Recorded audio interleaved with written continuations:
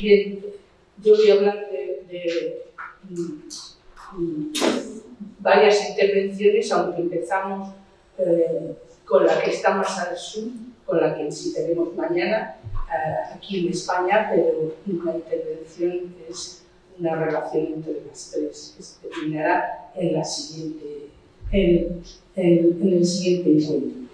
Esta, eh, es, estas tres son derivadas, son los eh, grandes conjuntos, el, gran ensemble, derivadas de la Carta de Atenas que tenemos ahí, las dos publicaciones durante la primera durante la ocupación francesa y la segunda del año 57 estas dos publicaciones son como los libros malditos que, que, que, han producido eh, una serie de, intervenciones que están eh, estigmatizadas. Pero también hay que entender las circunstancias en las que se producen. Eh, las circunstancias en las que se producen las actuaciones derivadas de ellas. La primera mm, es, es es una imagen de estos, de estos grandes bloques, que es museo, pero eh, las, la, la, primera fase museo. Pero vamos a hablar de otros dos a la vez, no, se pueden separar o entender realmente qué pasó en la política de estos años si no se analizan varios, no uno aislado. ¿Y por qué? Porque ahí está donde está el talón de Aquiles de, los, de las intervenciones estatales de los años 50. Y para eso eh, nos servimos de, una película, de la famosa película de Guillino del año 58, 1958, eh, que en el fondo refleja un poco la situación. Eh, evidentemente el cine va 10 años después de las situaciones reales, que sería el final de los, de los años 50.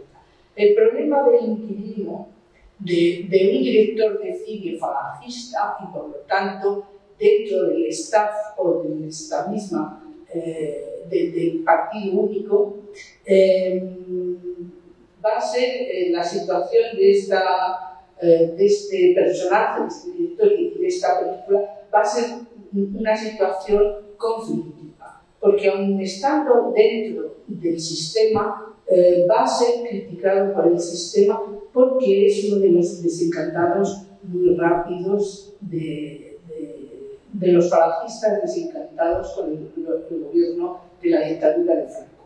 En esta película se, que relata la historia de una familia que vive de alquiler y está desalojada de su casa por una mm, pronta demolición, eh, van a buscar pisos. Y empiezan buscando pisos en distintas circunstancias, como lo vemos aquí. Va primero aspirando a poder tener uno mm, de promoción privada de cierto nivel y va bajando de categoría hasta buscar una chaula, ¿eh? como último recurso, porque no encuentran a dónde irse para, eh, para hacer sitio a la demolición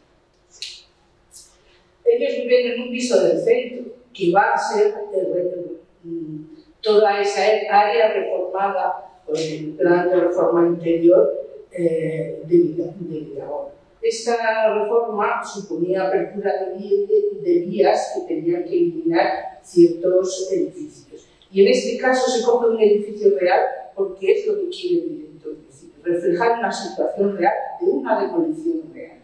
Y mm, eh, a la vez eh, introduce unos interiores que son decorados, pero que son como los edificios existentes en ese momento, que son eh, tres estancias en enfilada y, y, una cocina en un pasillo. Una vivienda muy modesta en la cuarta planta, en, ese, en, ese, en esa panorámica eh, que hace la cámara.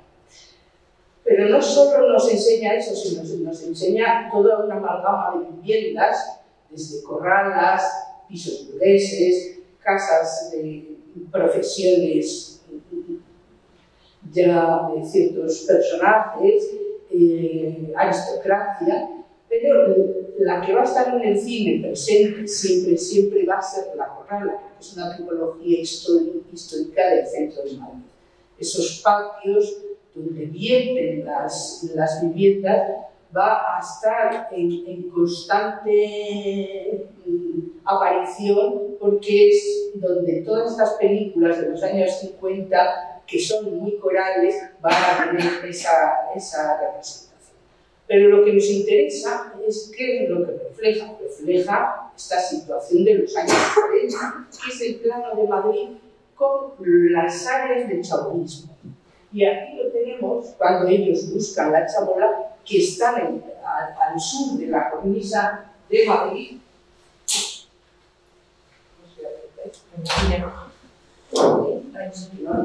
Eh, ¿Cómo está por esta zona entre la sacramental eh, de San Isidro y la de Santa María? Y van a irse a esta zona que es la que vamos a ver aquí, el sur de Madrid. La salida hacia euh, On connaissait parce qu'on était hier la corniche de l'ouest de Madrid avec le, le, quartier dont euh, ça veut dire le locataire, ce grand cinéma réaliste espagnol de l'après-guerre, très connu en France, et qui raconte les, aventures d'un jeune couple qui, en arrivant dans cette ville qui était très atteinte par les civile, connaît une croissance euh, extrêmement rapide, également une génération de en ville, cherche à, cherche à. Le logement est énorme hein, très important le cinéma euh, espagnol et particulièrement madrilène de, de, de l'après-guerre.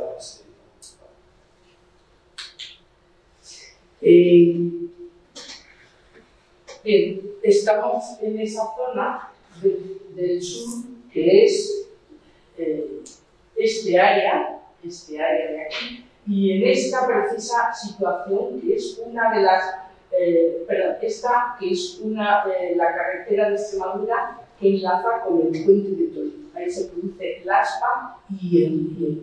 Y ahí es donde se van a hacer esos eh, nuevos polígonos, siguiendo también el plan de Vidagor, que sería a su vez el plan de Tuazo, que era definir los límites de la ciudad con una serie de poblados. Para ello se incorporan muchísimos municipios periféricos y de hecho el nombre de Carabanchel era el original, el Carabanchel Bajo, y después pasa a, Usera mm, como, mm, como, nombre porque está en un intermedio entre, entre la nada.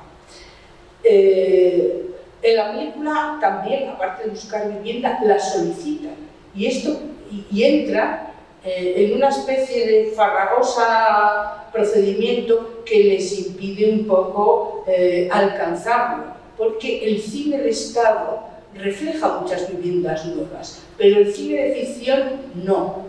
Eh, apenas dos películas, alguna más que se nos escape, pero mm, es esta separación completamente radical.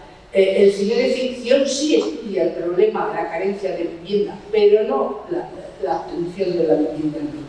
Pero lo refleja aquí en una especie de similitud con los procedimientos de la obra sindical del hogar que también eh, se incorporan en, en, la realidad de estos procedimientos tan farragosos. Las tres promociones que veremos son de la obra sindical del hogar, que es una organización promotora de, vivienda y ligada a los sindicatos. Por lo tanto, una forma de control social, ¿eh? porque había que solicitarle tener buen eh, currículum, por decirlo así, buen currículum ideológico y, de comportamiento. Je, vais traduire, il n'y a pas de meilleure économie que celle qui est destinée à construire le foyer. La obra syndicale de l'hogar est le grand promoteur public avec les insignes phalangistes tout à l'heure, euh, c'est le, le joug, hein, le joug des flèches que vous montrez tout à l'heure, euh, Louis. Vivienda, alors un logement euh, propre, euh, enfin à soi, hein, propre sans s'asseoir, et le, la base d'une famille. Hein. Et le problème du logement, le problème de la vivienda, est un des problèmes euh, c'est un test urgent, problème d'urgence de, notre temps, dans laquelle ça se passe Porque la política nacional eh, socialista eh, consideraba la casa o el hogar como vertebradora de la familia. Por lo tanto, en ella estriba todas sus conquistas y, sus logros. Eh, y lo vemos ya aquí. De lo que era nada, de lo que era nada, el mismo lugar, eh, el, resultado. Visto antes de esta intervención, vacío, en una dirección y en otra. Nosotros recorreremos mañana estas dos calles, estas dos calles vacías, hacia el este y hacia el oeste.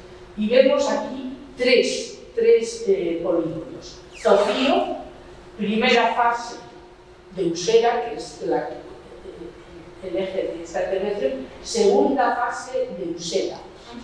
Esta es la calle Marcelino. Y, en esto vemos ya el talón de Aquiles de las intervenciones de todos estos polígonos que van a salir alrededor de, Madrid, eh, como capital imperial y ejemplo para, para, todas ellas, que es la desconexión entre los polígonos. Crecían uno al lado del otro, pero mm, mm, no tenían ninguna planificación previa en su conjunto. Eh, y aquí, en esta misma situación... En las inmediaciones de la elíptica, en la nueva autopista de Suecia, la elevada edificación de Sofía, con su brillante cifra de 1.146 viviendas. Entre todas las necesidades, ha dicho el ministro de la Vivienda, ninguna está tan grabada en el ánimo de Franco como esta de la justicia social.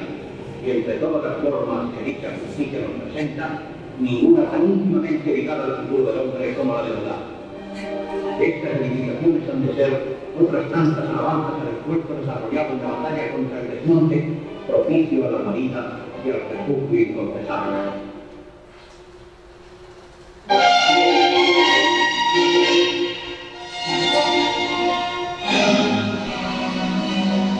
Como vemos, es intervención, eh, o son, o, las intervenciones se consideran monónicas.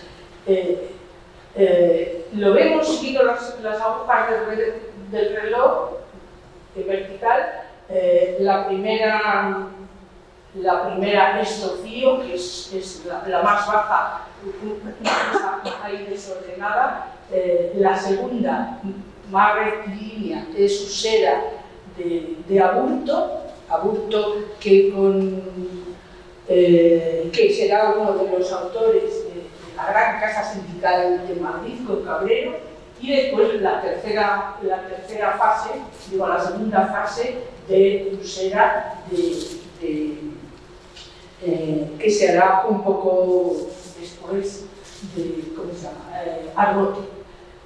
Y lo vemos ahí, cómo estaban al lado de chabolas y de población que no tenía, que había salido de generación espontánea pero entre ellos, estando todos juntos y muy próximos en, años, tampoco tendrán ninguna, ninguna relación.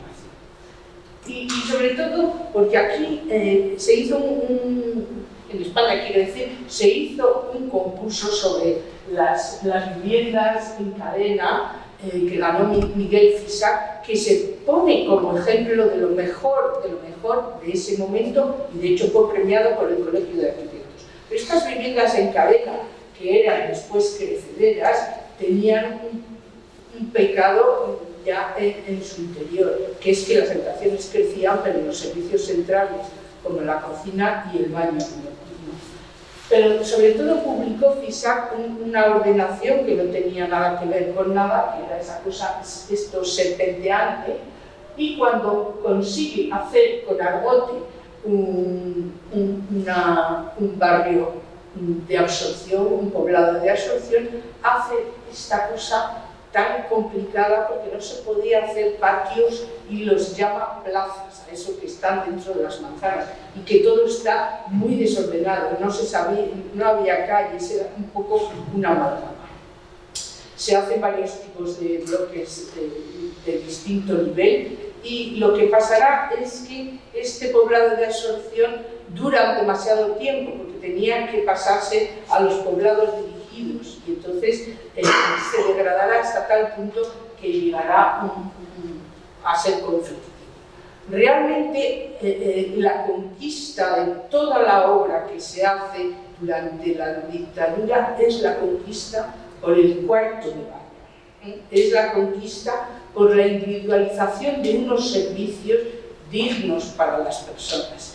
Lo que pasa es que eh, este, este, plan eh, sindical de Francisco Franco utilizó 35 metros cuadrados como base y la posterior ley 50 metros cuadrados. Y mediante una triquiñuela de días de publicación en el boletín oficial del Estado no se, eh, se debía anular esos 35 metros, pero no se llegó a anular. Y de hecho, como estamos viendo, se incorporan en las más bajas, que es eh, las de FISAC, se incorporan unos, años, unos baños absolutamente bastante deleznables. Lo vemos en la película, que se enseña, porque se publica eh, un poco antes, el polibán como elemento, la gran aportación eh, de la industria a, a la vivienda como esa, esa dignificación o esa conquista que tenían en cada, eh, en cada una de ellas. Pero eh, la que vamos a ver mañana es esta, y Argote va a ser mucho más ortodoxo y mucho más ligado a la Carta de Atenas, con esas viviendas helitrópicas adaptadas al terreno, a la topografía, etcétera, porque esto es un terreno que cae hacia, hacia allá y veremos que los edificios eh, en una calle están en un nivel y en otro bajan los edificios y nosotros eh, intentaremos ir por, por, esta calle por detrás, volveremos por aquí, nos desviaremos y volveremos otra vez a la plaza elíptica que supongo que nos va a dejar el autobús en, en ese punto. Ahí están los bloques los cuatro grandes bloques. Pero es curioso, es curioso que en el plano está mal el norte. El, rojo es mío, el rojo es mío que es el de verdad, y, el, negro es para abajo, que es el, auténtico. Y entonces dice, están bien orientadas solarmente, pero la orientación está mal. Eso indica un poco la con la que hacían, esto lo hacían en, una, en una noche o dos. Los vemos aquí y los veremos con los tipos de bloques, los grandes orientados al, al sol, los bloques eh, más eh, bajos, un poco más bajos, haciendo unos espacios de jardín que ahora eh, existen eh, para crear esa idea también de, de. Y después la segunda fase que es la de Argote, que es mucho más eh, básica y elemental, pero que cuenta bloques y torres. Y desde esa torre que está señalada se rodará en la película el segundo final, porque hubo un primer final que hizo el director que no le gustó nada al ministro de, de, de la vivienda, los dos palacistas, que era que eh, el, el el protagonista o la familia, al ser desahuciada, al final terminan en la calle con los muebles. Eso no le gusta al ministro y considera que es una mala propaganda para el Ministerio de la Vivienda y le obliga a su compañero de partido a hacer el segundo, el, segundo final. Tenemos el primero y el segundo. Y en el segundo final, todos los críticos de cine lo ponen fatal, lo ponen fatal porque es como el impuesto pero yo creo que el, director consigue mostrar la realidad tal cual era y esa es precisamente su crítica. Hace una panorámica y veremos mañana la calle por la que se va eh, el, el, carromato al barrio de la Esperanza donde les concede en el segundo final un piso y entonces enfoca Zofío en una panorámica vertical y después en una horizontal va cogiendo los tres barrios enlazados, insertados en la secuencia, eh, como decimos, de remate. Y lo que para los críticos de cine, que no saben qué barrios son, eh, no tiene ninguna importancia, para los de arquitectura sí la tiene, precisamente porque está en una imagen recogiendo precisamente lo que decíamos, esa desconexión de los barrios y, también ese caos que se plantea. Sí. Va este ejemplo a la feria de Berlín y vemos la diferencia entre la feria y los arreglos que se llevan a cabo, sobre todo el de Perpiñán, el del folleto. Y se lleva la maqueta que veíamos como ejemplo paradigmático de lo que se estaba haciendo en España. Esta es la situación que veremos mañana eh, y, final, y como decíamos, es esta. Zofío no existe por las reivindicaciones vecinales de los años 70 que consiguieron derribar el poblado de absorción, persiste la primera, la primera fase que hemos coloreado eh, y la segunda fase. Y gracias a que Zofío se tiró y eso el pulmón verde, eh, tienen mayor desahogo, porque la diferencia con las actuaciones de la Hansa, eh, Interval, eh, es precisamente ese esponjamiento de, los, de las edificaciones, que en estos casos es de alta densidad y muy.